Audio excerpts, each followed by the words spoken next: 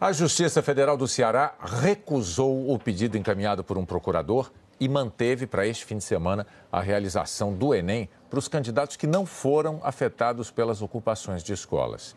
191 mil candidatos só vão fazer as provas nos dias 3 e 4 de dezembro. E isso aumentou muito os motivos de preocupação para eles.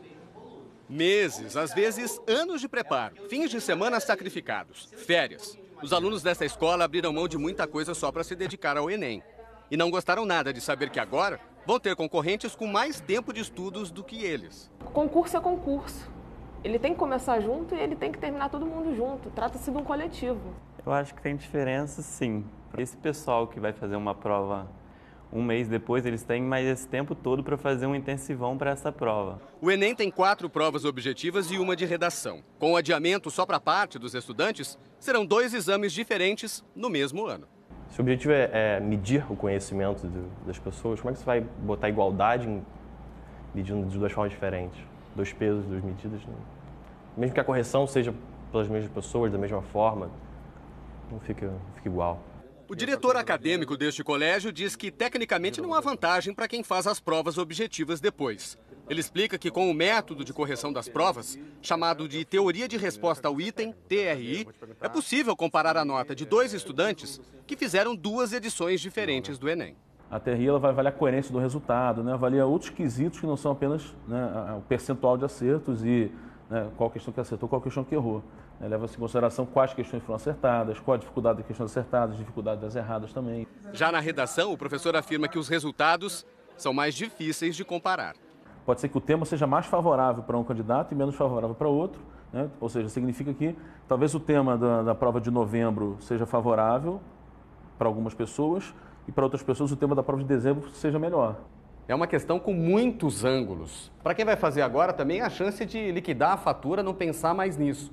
Para quem vai fazer depois, tem que saber lidar com esse tempo a mais.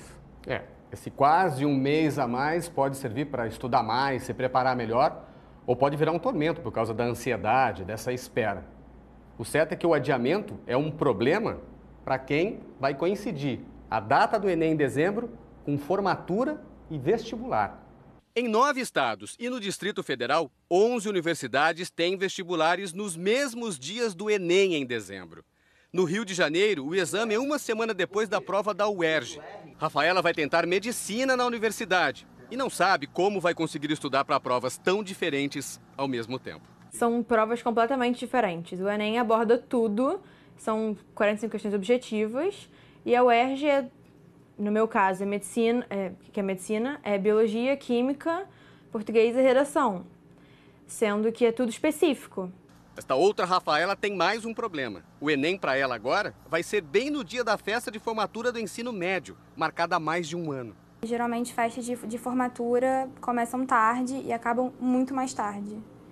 E eu não teria como dormir direito nesse dia. Eu me senti prejudicada porque comprometeu um, um evento muito importante para mim. O Ministério da Educação diz que os candidatos não serão prejudicados por ter dois exames em datas diferentes. Do ponto de vista técnico, as provas são absolutamente equivalentes, tanto as que realizarão agora no final de semana, como as do início de dezembro. Então, isso revela ainda mais tranquilidade para os alunos que farão o Enem neste final de semana ou no início de dezembro. A gente tem que dançar conforme a música agora, né? Nem se sentir injustiçado por estar fazendo a prova agora e também não se sentir injustiçado porque a prova foi adiada.